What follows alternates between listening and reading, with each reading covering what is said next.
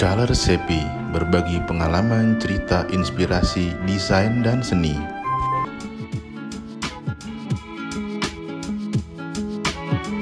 Assalamualaikum warahmatullahi wabarakatuh. Ketemu lagi dengan saya Irfan Heru di channel Color Sepi.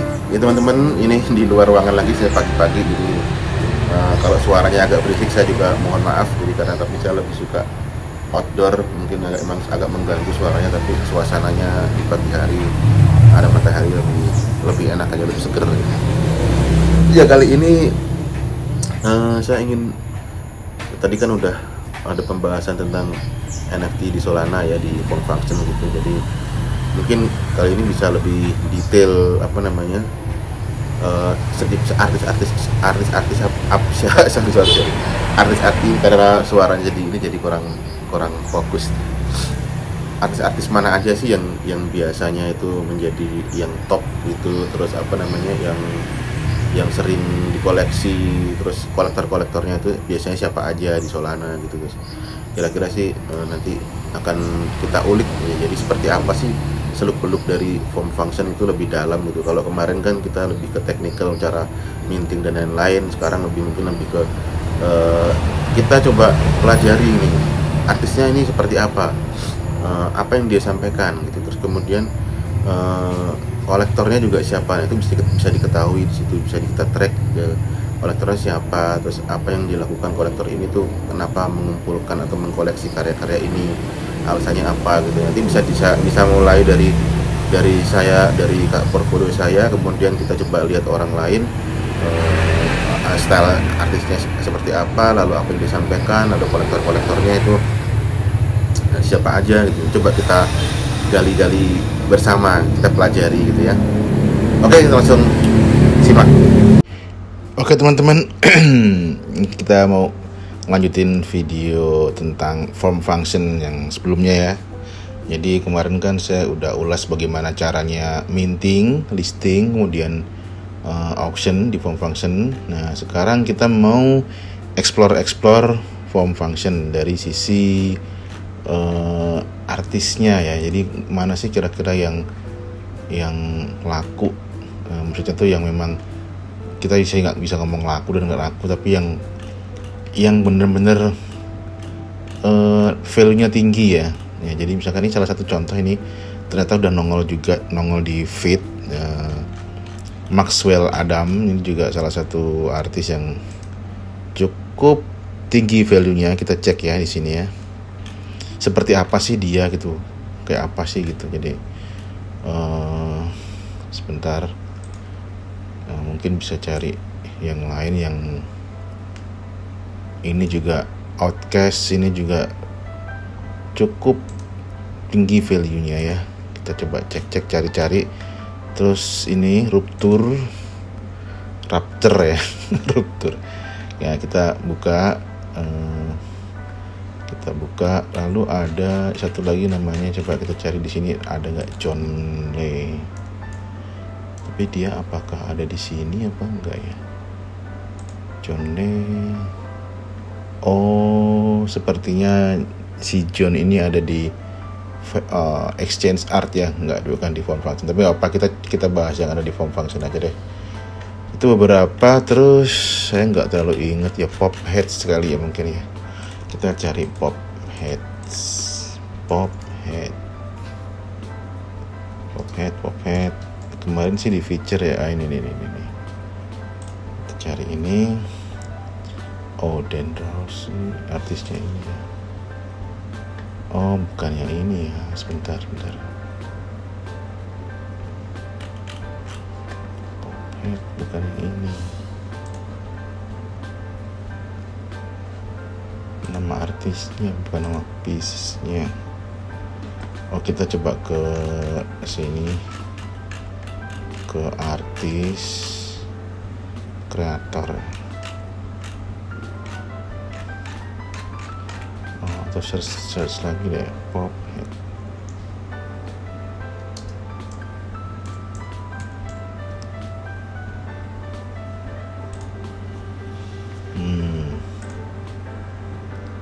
artis ya, kreator.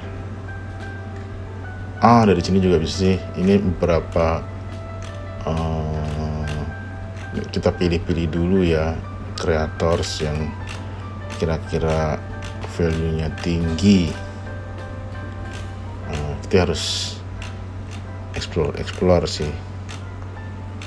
Agak sulit agak sulit agak sulit sih kayaknya nyari satu-satu karena saya nggak hafal tapi coba deh kita scroll down ke bawah terus karena ini juga ah ini ini satu nih. Kita lihat pop heads. Lalu ada beberapa tapi di exchange art jadi nggak semuanya ada di form function sih sebenarnya tapi nggak apa-apa. Kita coba coba uh, apa namanya ini keren sih tapi nggak tahu ya. Coba lihat dulu deh. Saya kadang-kadang tuh orang karena orang visual ya orang visual tuh ngeliatnya ya yang penting keren dulu gitu. Tapi baru lihat apa sih isinya. Karena banyak juga yang value-nya tinggi tapi ya kalau menurut saya sih secara visual uh, belum memenuhi kriteria keren menurut saya itu banyak gitu. Kayak kalau menurut saya sih ya kayak gambar-gambar pixel yang udah menjamur tuh kalau bagi saya sih buat saya sih itu nggak keren sih kalau bagi saya ya. Meskipun saya kadang-kadang juga um, ngambil beberapa koleksi untuk ya sekedar untuk investasi gitu. Menurut saya sih ya, ya itu selera sih. Kalau menurut saya sih biasa aja gitu. Tapi ya itu value value nya itu berbeda-beda sih. Tuh kayak gini-gini tuh kalau menurut saya sih apa sih gitu doang sih. Tapi ya mungkin nilainya bisa jadi tinggi. Tapi buat saya sih biasa aja gitu ya. Selera ya. Terus hmm, ada satu nah ini juga kayak gini-gini tuh itu nilainya tinggi nih. Kita lihat coba lihat aja deh tapi nggak tahu ya. Tapi saya nggak suka ya ya apa ya ya gitu aja gitu. Selera sih lebih ke selera ya. Kadang juga kadang misalkan beli ya yang kayak gini tuh sekedar kayak buat ini aja nyari cuan gitu kalau saya gitu. Nah itu uh, saya tuh belinya tuh di Magic Eden. Ntar kita coba eh, bahas-bahas uh, juga Magic Eden yang beberapa. Oke oke. Ada yang jadi kita cari-cari uh, ini lebih ke subjektif ya keren menurut saya. Uh, keren yang menurut saya dan yang mungkin bisa jadi keren atau nggak keren tapi punya uh, value yang tinggi gitu. Atau biasa aja tapi value-nya tinggi.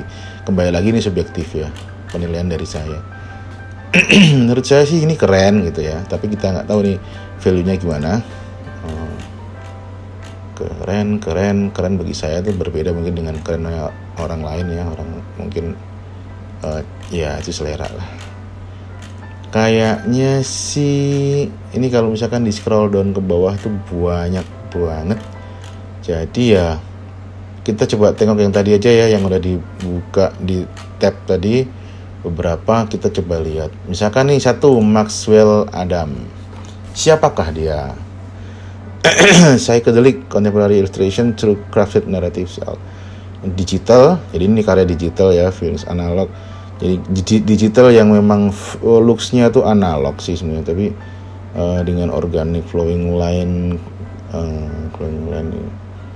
mau ini inspirasinya ini klien oh kliennya oh jadi dia artis yang memang cukup berpengaruh ya karena dia ada beberapa klien seperti BioWare, Marvel, Guerrilla Games, Disney. Jadi memang nih sepak terjangnya dia di dunia keartisan itu sudah cukup uh, populer gitu. Coba kita mau lihat, kita tengok Twitternya mungkin, Instagramnya mungkin dia juga punya Discord, uh, Discord sendiri. Mungkin ya aku juga nggak tahu nih ya.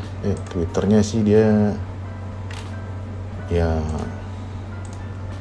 kita cek kok ini malah twitternya dia ya followernya segini ya masih masih uh, kita lihat apa namanya. Nah, ini di Sony Interaktif Marvel. Ya orang yang cukup cukup ini ya uh, cukup punya jam terbang yang tinggi di dunia art ya. Ini kalau kalau Instagram ini baru kayaknya dia followernya juga sedikit ya jadi dia mungkin cukup punya nama di dunia art di terutama di US mungkin ya. Ya kurang lebih sih ini Instagramnya karyanya sih ya.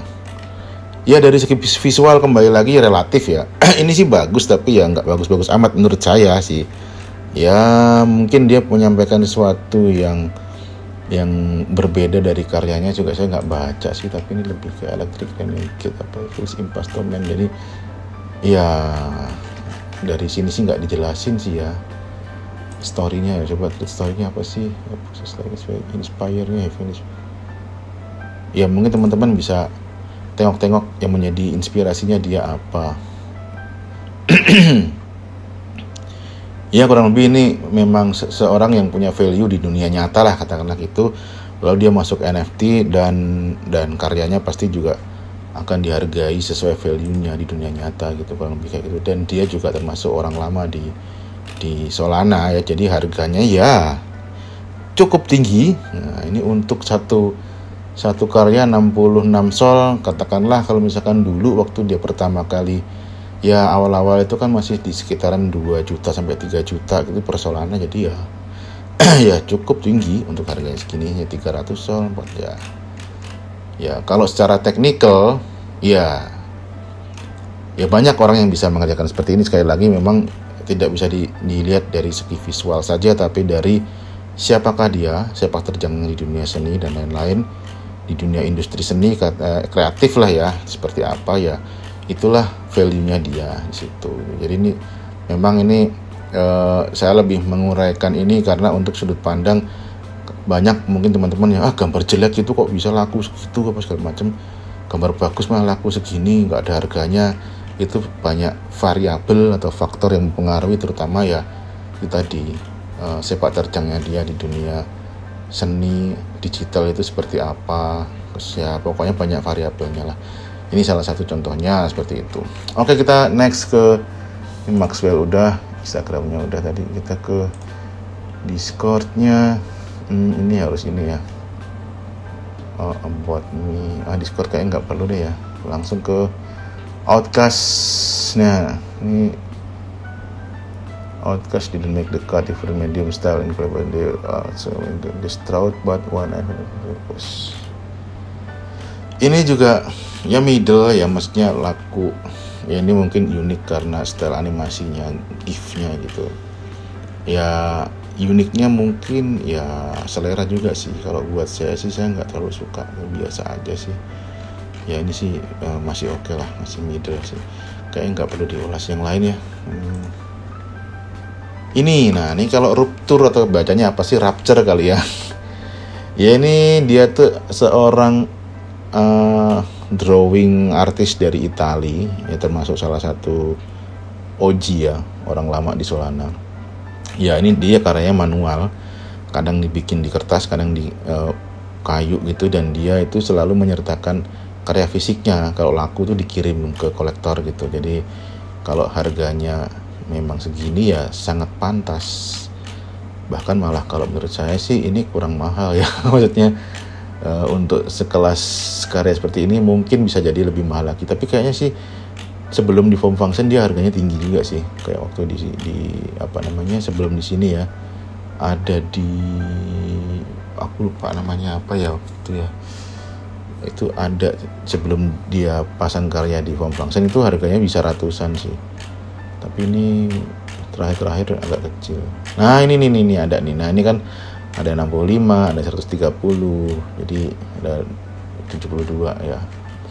Jadi ini manual drawing ya manual drawing ini. Jadi ya sangat pantas untuk value segitu. Dan dia juga memang artis yang udah ya bisa dibilang udah cukup lumayan punya nama di di Italia.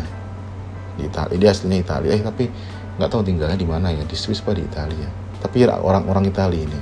Kalau nggak salah ya ini ruptur ini punya value memang cukup bagus. Oke okay, next. Pop heads pop heads ini juga dari dari karya emang keren sih. Maksudnya itu uh, apa ya namanya ya? Ya mungkin teman-teman bisa lihat keren. Mesti ya animasinya ya keren nah, ilustrasinya keren sih ya. Jadi ya tapi kayaknya bukan yang ini deh akunnya. Saya lupa yang mana gitu. Ada satu yang khusus ini kan untuk project uh, ini ya untuk yang 10.000 NFT tapi bukan yang ini sih harusnya. Tapi artisnya sama cuman saya nggak hafal. Ya intinya sih menurut saya ini juga oke okay sih. Tuh terus oke okay, ini yang aku nggak tahu yang saya nggak tahu apakah ini uh, seperti apa dia siapa dia nggak tahu. Katakanlah kayak saya waktu masuk ke sini tuh nggak ada orang tahu siapa gitu ya. Apalagi orang luar negeri uh, siapa dia ya. Makanya harga saya segitu-segitu karena orang luar nggak tahu siapa gitu. Dan dan mungkin orang Indonesia juga ya siapa sih lu? Gitu. Orang-orang biasa saya juga orang biasa yang masuk jadi ya udah uh, value saya segitu segitu aja gitu. Ini dari Thailand. Menurut saya ini sih secara skill sih bagus ya. Ya banyak yang kayak gini ini skillnya sih keren gitu.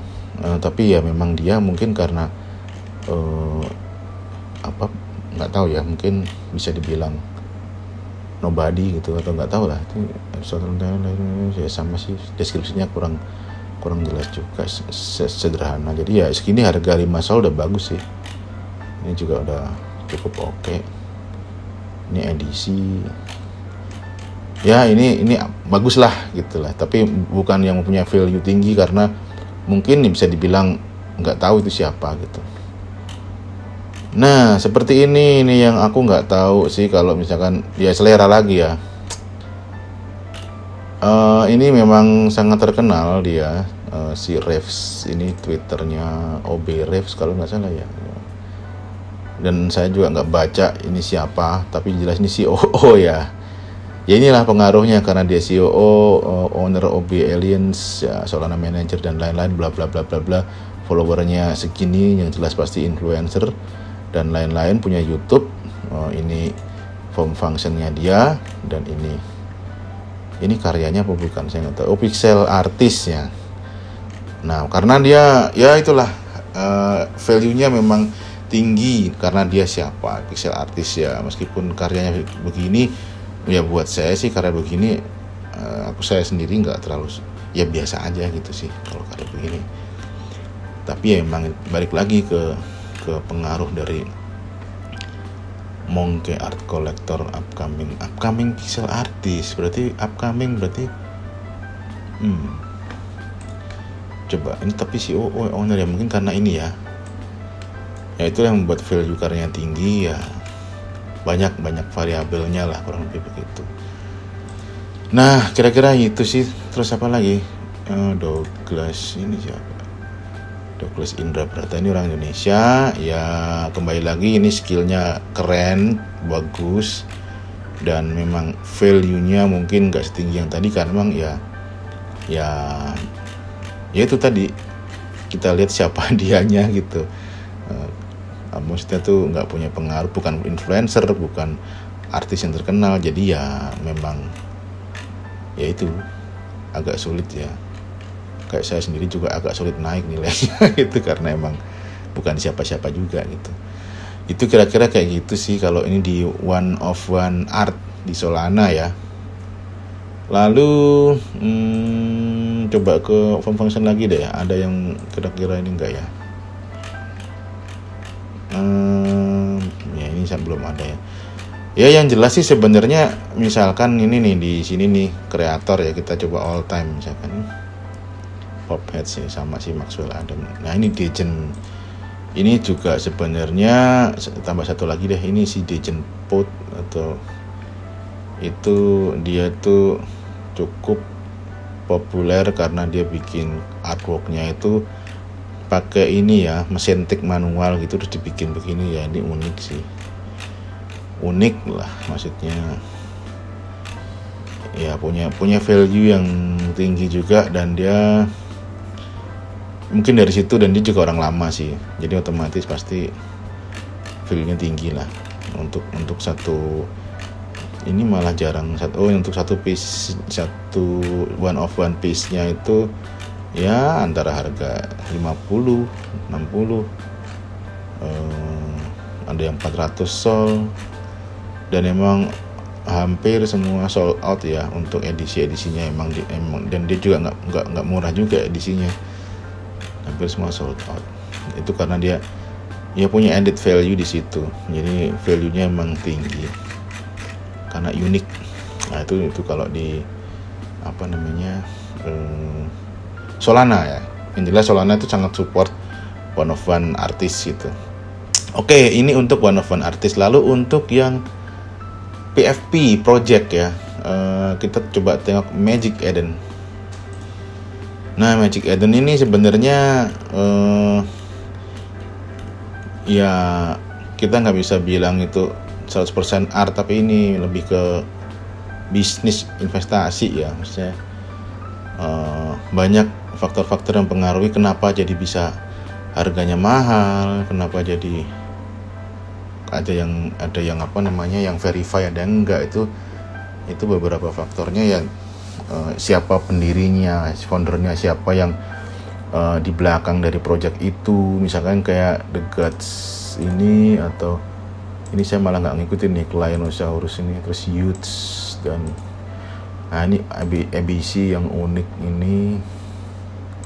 Jadi sebenarnya kalau ini lebih ke uh, satu project terus komunitas terus punya apa di balik dari project itu ada ada apa namanya uh, utility apa aja benefit apa aja yang didapatkan ketika orang itu membeli atau invest atau koleksi dari apa namanya uh, project-project itu. Nah ini watchlist ini yang saya watch. Ini saya baru nih saya ngoleksi ini tadinya 0, ini sudah 3,98 ini mau saya jual beberapa nih yang ini boleh nih. Mau saya mau saya uh, listing.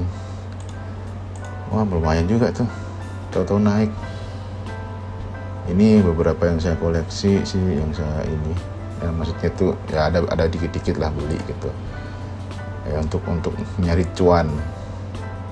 Nah ini kak agak berat ya. Ya kita langsung ke sini deh. Nah, kayak the gods ini tuh kan dia memang ya secara art juga emang detail keren dan harganya kita bisa lihat sangat luar biasa ini kita. Hmm, low dari low low to high nya segini ya 349 sol coba kita lihat yang high to low. Tuh 100 ribu 100 ribu